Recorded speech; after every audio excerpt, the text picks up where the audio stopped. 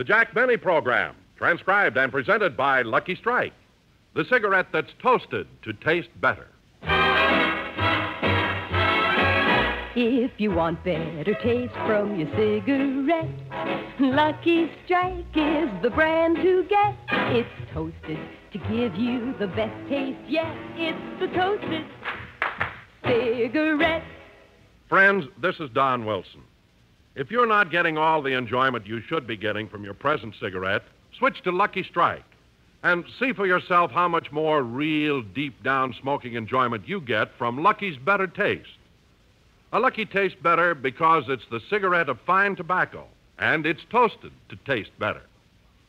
It's toasted is the famous Lucky Strike process that tones up Lucky's fine, naturally good tasting tobacco to make it taste even better, cleaner, fresher, smoother. Yes, find out for yourself. Buy a carton of better tasting Lucky Strike.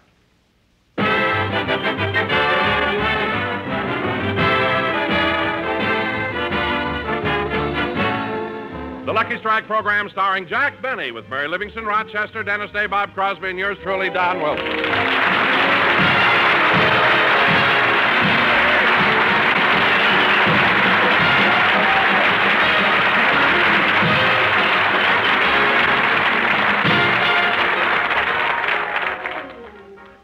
Ladies and gentlemen, one of the jobs that all men postpone as long as possible is cleaning out the accumulation of junk that gathers in the garage. Well, Jack Benny has put it off as long as possible, and as we look in on him, he and Rochester are busy with this chore. Well, now we're beginning to get somewhere, Rochester. Give all those cans and bottles to the junk man. Give the magazines and papers to the paper drive. Yes, sir. Now, what do you want to do with this bicycle? You haven't used it in many years. Well, let's keep it. I'll use it again if I can ever get tires for it. Of course, they're so hard to get, you know. I know the small one is easy, but that great big front one is murder.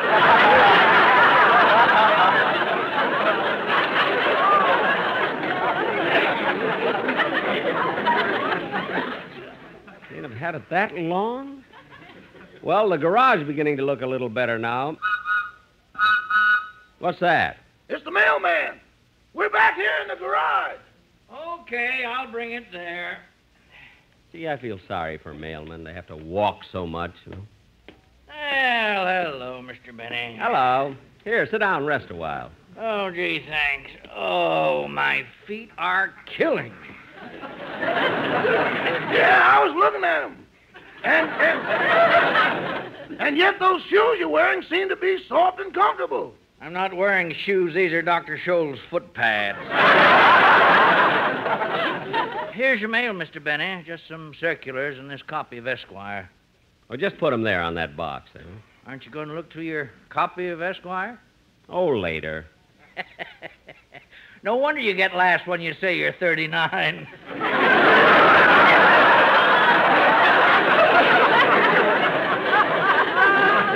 Yeah, yeah. Oh, I almost forgot. Here's your package from the American Tobacco Company. Oh, yes, yes, my lucky strikes. You get these packages quite often. Yes, it's a courtesy they show me. You see, ever since I've worked for them, they've sent me two free cartons a week. Oh, gee, that's nice. Well, goodbye. Goodbye. Come on, Mr. Benny, let's finish cleaning up the garage. Okay, but first take the mail in the house and put the cigarettes in the machine.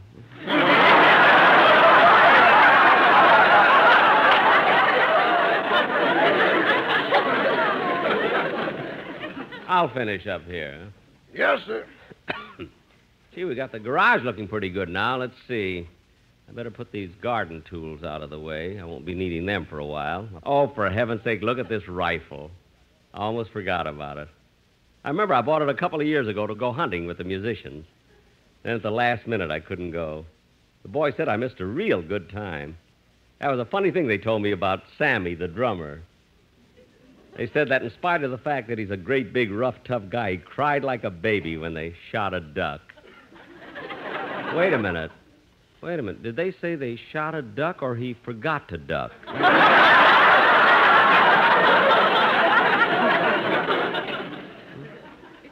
I'm going to go next time. It sounds like so much fun shooting Sammy. eh? Gee, Hello, Mr. fel- Benny. I'm, I came over to tell you Oh, that... hello, Dennis. Hello. I came over to tell you that How do I... you feel, kid? Oh, fine. I came over to tell you that I... How'd you know I was in the garage? Rochester told me. Oh. Well, what do you want, Dennis?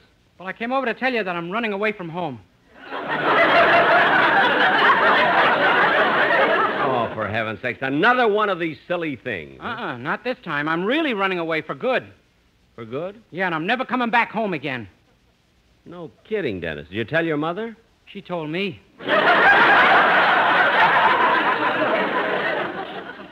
all right, Dennis. Tell me, what was the argument about this time? Well, it wasn't my fault. We were arguing over what to watch on television. On television? huh? Uh-huh. I wanted to watch a movie, and my mother wanted to watch the greatest fights of the century. Oh. What a ham. Always hoping they'll show the time she stopped Galento. Look, Dennis, this is a very interesting discussion. I'd like to continue it and broaden my mind, but I've got work to do. Oh, what are you doing? I'm cleaning out the garage. Well, what are you going to do with that big pile of junk in the middle? That's my car. now get out of my way. Oh, but Mr. Benny. Look, I- Dennis, if you want to hang around, don't bother me. Let me hear you sing the song you're going to do on the show. Okay.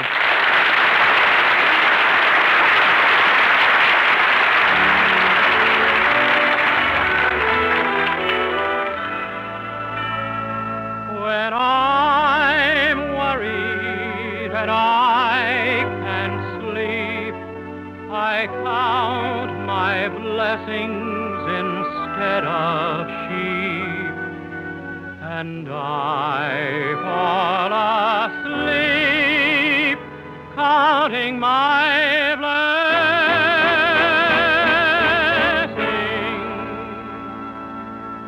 When my bankroll is getting small, I think of when I had none at all and I fall asleep counting my blessings. I think about a nursery and I picture curly hair.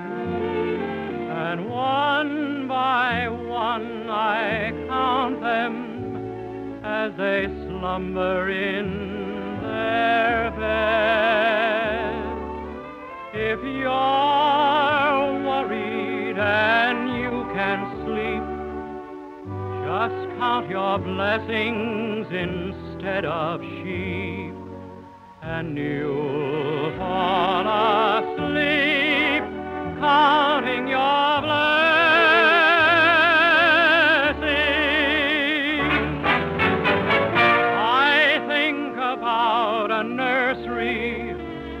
I picture curly heads. And one by one I count them as they slumber in their beds. If you're worried and you can sleep, just count your blessings instead of and you'll fall asleep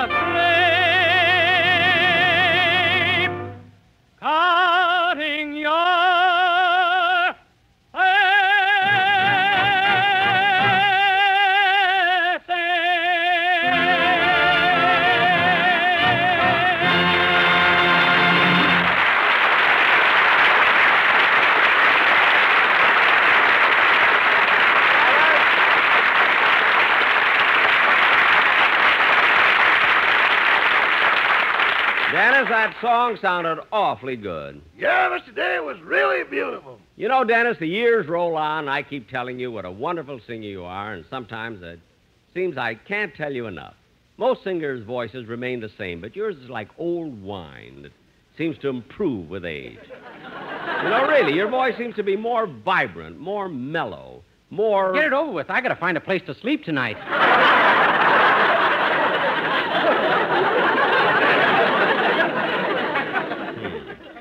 Hey, wait a minute, Dennis. Yeah? I have an empty guest room. You can stay till things quiet down at home. Gee, Mr. Benny, that's the nicest thing that anyone ever did for me, and I, I hope you don't think I'm ungrateful, but I couldn't move in here. I. Well, I don't like the people in the neighborhood. You mean the Colmans? No, you.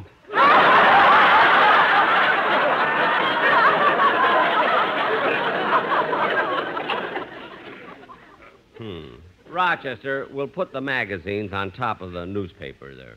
Are you going to ignore him, boss? Yes, if you do, sometimes he goes away. now I want to clean all the top shelves off and. Well, uh, say, Mr. Benny, while you and Rochester are working, do you mind if I fool around with this hunting rifle? No, go right ahead. It's loaded.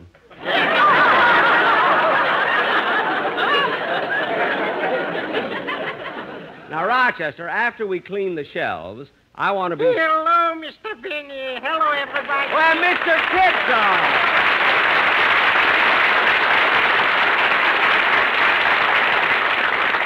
I rang the doorbell, and when nobody answered, I came back here to the garage. Well, I'm glad you did. Say, Mr. Kitzel, I just noticed. Isn't your jaw a little swollen? Yeah, my nephew just opened up a dentist's office, and I went to him this morning. When you had a tooth pulled, Five of them. You had five bad teeth? Only one bad.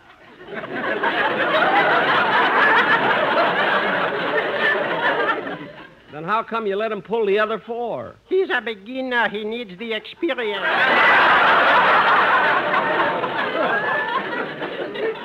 Oh. But he's going to be a very, very good dentist, believe me. You know, he's still studying hard. He wants to specialize in stopping pain.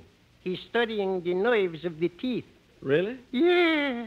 You should see how delicately that gentleman works. He removes the knives from the teeth and hangs them on tiny little racks. Guys, that must be hard work. It's nerve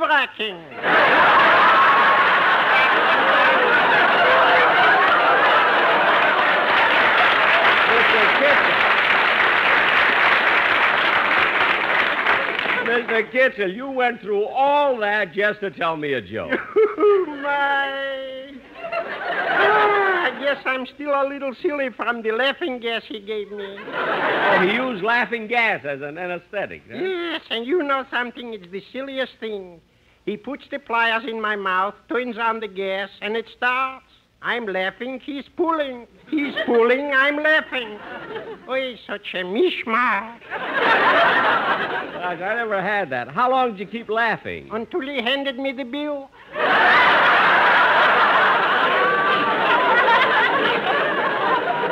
No. Yeah. Oh, that's the phone, boss. Want me to go in the house and answer it? No, I want to go in and get a glass of water anyway. Well, I better go now. Uh, me too.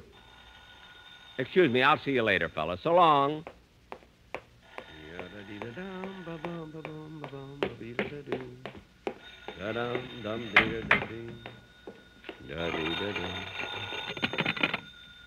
Hello? Oh, hello, Claudette. Nice of you to call. Dinner? Saturday night? Oh, sure, sure. Goodbye. Oh, Rochester, we have to have Miss Colbert's uh, tablecloths ready by Saturday night.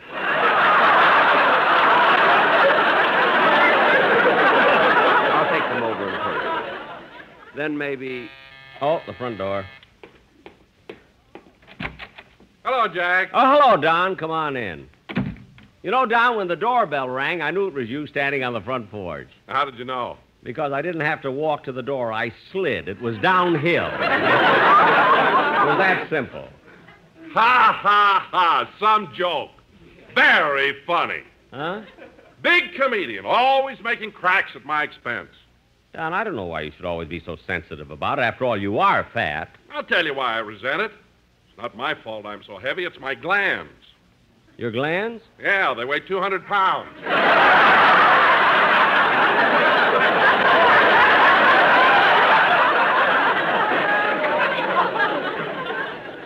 Haven't you got a small gland, like 75 pounds? Look, it's about time you stop kidding me about being fat. Everybody who knows you says you're becoming somewhat chubby yourself. Me, that's ridiculous. For the past dozen years, my weight has always been 160 pounds. Oh, yeah? Well, I'll bet you weigh a lot more than 160 pounds right now. Don, I'll prove to you that you're wrong. Now follow me. I have some scales in the bathroom. We'll see just how much I do weigh. Here we are. Now, here. Here's the scale. I'll get on. All right, I'm on it, Don. Yeah, yeah, and look what it says 169 pounds. Say, it does say that. Can't understand how I gained so much. Oh, I know what the extra nine pounds is.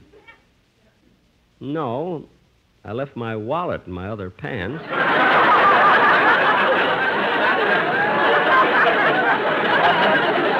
yeah, I am gaining weight. Don, you get on. I want to see how much you weigh. Well, all right.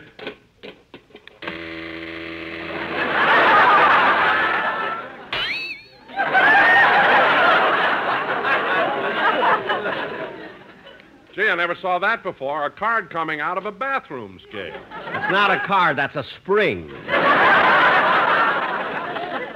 Imagine me being so much overweight. I'm going to go right on a diet and eat nothing but rye crisp and lettuce. Oh, Jack, that's fine. But I'll tell you something. I just started. What? Well, last week I joined the Beverly Wilshire Health Club, and I exercise in the gym over there. I take steam baths and massages and everything. Hey, that sounds great. Yeah, it is. In fact, I'm on my way there now. How about you joining me? Don, you got a deal. Let's go. Don, where's your car? You want to lose weight, you got to walk a lot. You're right. I'll tell Rochester I'm leaving. Oh, Rochester! Yes, boss? I'm going over to the Beverly Wilshire Health Club. Shall I get your car out? No, I'm going to walk. Coward!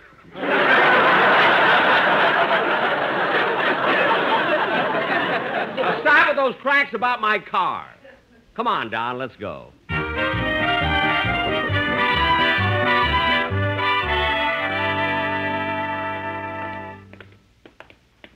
Ah, gee, it's a nice day. Yeah. I love walking here in Beverly Hills. Say, Jack, What?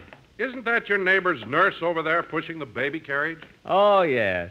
You know, that baby must be over a year old now. Such a smart baby, too. Yeah, and awfully cute, too. Yeah, here they come. Hello, you cute little thing. Coochie, coochie, coochie. Coochie, coochie, coochie. Jack, Jack, leave the nurse alone. Pay attention to the baby. Oh, yes, my glasses are so thick. Say, nurse, this sure is a sweet baby, isn't it? Oui, oui, monsieur. C'est une bébé très bonne.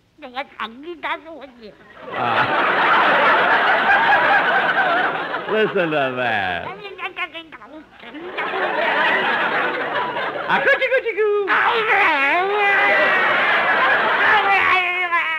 Now, here's a wait. Here, now, don't cry. Here's a little game that all babies like. Now, pay attention, baby. This little piggy went to market. This little piggy stayed home. This little piggy had roast beef, and this little piggy had none. And this little piggy cried, wee, wee, wee, wee, wee, wee, wee. Jack, Jack, if you want to get to the club, we better get going. Okay. Wait till I put my shoe on.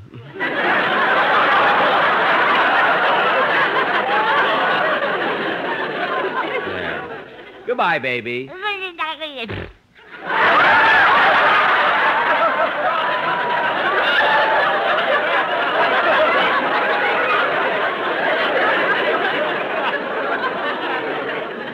Au revoir, mademoiselle. Au revoir. Oh, euh, pardonnez-moi, monsieur. Oui, mademoiselle? Euh, Donnerez-vous une cigarette de moins, s'il vous plaît? What'd she say, Don? What'd she say? She asked me for a cigarette. Here you are, mademoiselle. Oh là là, Lucky Strike. Oh, cette cigarette est ma marque favorite. Well, I'm mighty glad to hear you say it's your favorite brand. You know, it's my favorite, too, mademoiselle. Anytime you want Lucky Strikes, you can come over to my house. I have a machine full there. Don, ask her if she knows the Lucky Strike song. I like to hear how it sounds in French. Mademoiselle, euh, savez-vous chanter la chanson de Lucky Strike en français? Oh oui, oui, avec plaisir. Si vous voulez mieux goût dans la cigarette, Lucky Strike est la marque achetée. C'est toasté donné à vous le mieux goût. C'est la toasted, oh là là, cigarette.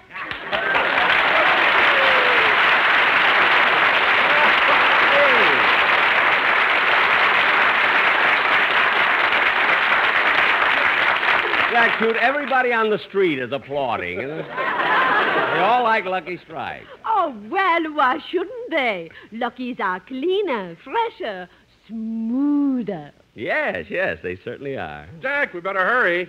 Bonjour, mademoiselle. Bonjour. Uh, bonjour, monsieur. Gee, I didn't know she spoke English, you know? Neither did I. You know, when she first came over here, she was a displaced person. Really? Well, everything seems to be in the right place now.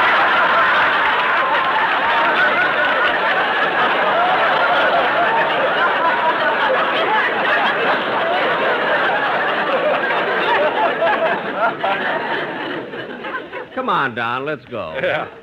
Oh, and Jack, the first thing we'll do when we get to the club is take a steam bath, huh? Oh, yeah, that's what we'll have.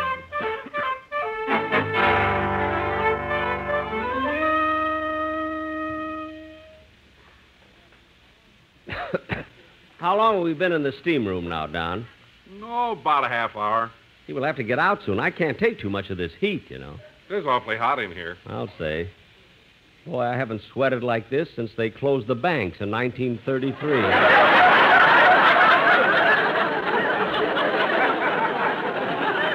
Phew. Now, let's get out of here. Okay. Here, Jack, put on these trunks. Gee, this club provides everything. Yeah, it really does. Now let's put on these terry cloth bathrobes and go into the gym and meet the instructor. I'm right with you. Oh, here's the instructor now. Oh, hello, Mr. Wilson. Oh, hello, K.O. Jack, this is K.O. Stevens. K.O., this is Jack Benny. Hey, uh, Jack Benny from radio and television?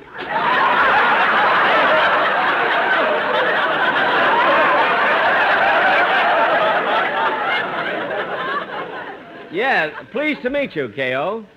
Uh, the feeling is mutual. You know, Jack, K.O. used to be a prize fighter. Yeah, that's right, Mr. Benny.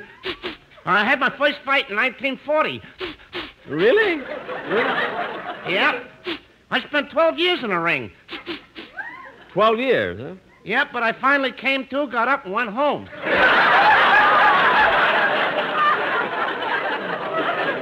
Oh. Okay, gentlemen, take off your bathrobes. All right. Uh, now, before we start, Mr. Benny, uh, I want to see your physique so uh, I can know what exercises to give you. Uh, turn around a couple times. All right. Well, how do I look? No wonder you get laughs when you say you're 39.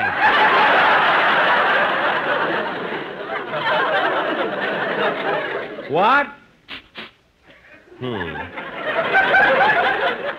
Well, I think I'll start you and Mr. Wilson off with a regular bending exercises. Uh, you ready? I'm ready, K.O. Me too. Yeah, okay, now as I count, bend down and touch the floor. Okay. Okay. One, two, three, four. Bend down and touch the floor. One, two, three. three. Mr. Mr. Mr. Wilson.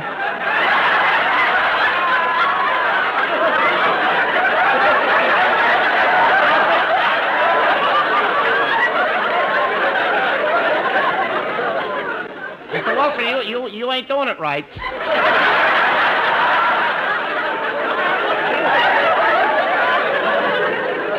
What's wrong? Well, uh, you're supposed to touch the floor with your fingers, not your stomach.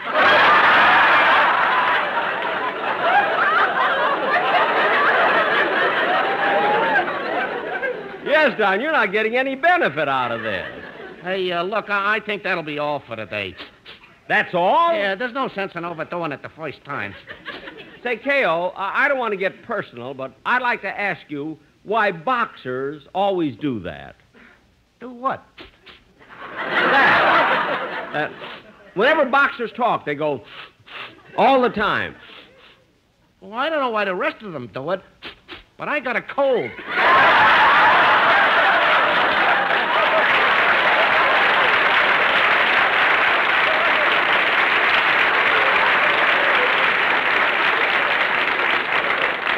Oh, well, I'm glad you explained it. Yeah. Well, I'll go back in the steam room for about ten minutes before going home. Oh, I... okay, come on, Don. Let's see. This is the this is the steam room here. Gee, the steam is much thicker than when we left. I can't see a thing. Yeah, same here. Doesn't seem as hot, though. Yeah. Let's see if we can find a place to sit down. I can't see. Neither can I, but follow me. Maybe we can find. Whoops! Sorry I bumped into you. That's all right. I can't see a thing either.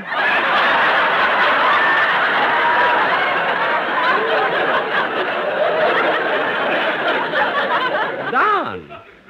Don, what's a woman doing in the steam room? This is no steam room. This is Santa Monica Boulevard.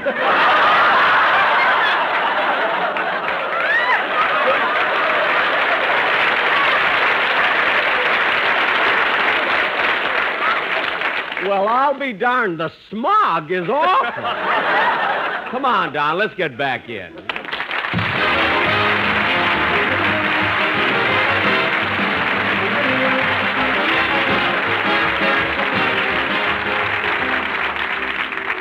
Just before Jack comes back again, here's a word for anyone who enjoys a good cigarette.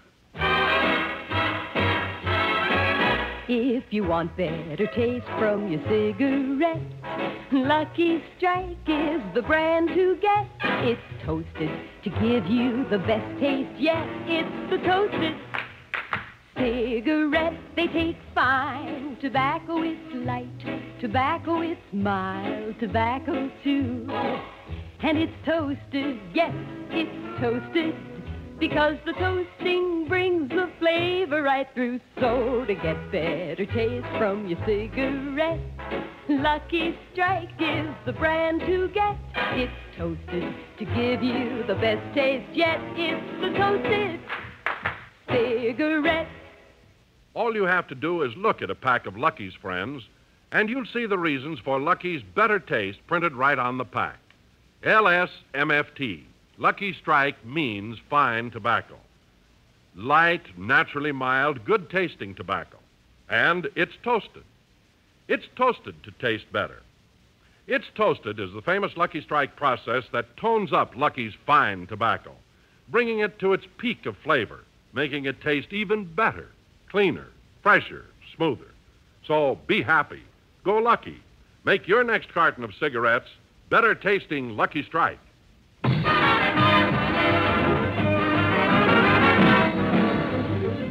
Little late, so good night, folks.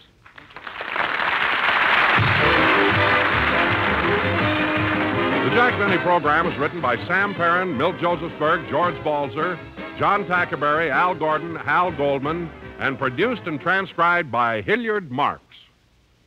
Filter smokers, here's the true tobacco taste you've been looking for. Filter Tip Tareyton gives you all the full, rich flavor of Tareyton's famous quality tobacco, and real filtration, too. Filter Tip Tareyton incorporates activated charcoal, renowned for its unusual powers of selective filtration and used far and wide to purify the air we breathe, the water and beverages we drink. Look for the red, white, and blue stripes on the package. They identify Filter Tip Tareyton, the best in filtered smoking. The Jack Benny program is brought to you by the American Tobacco Company, America's leading manufacturer of cigarettes.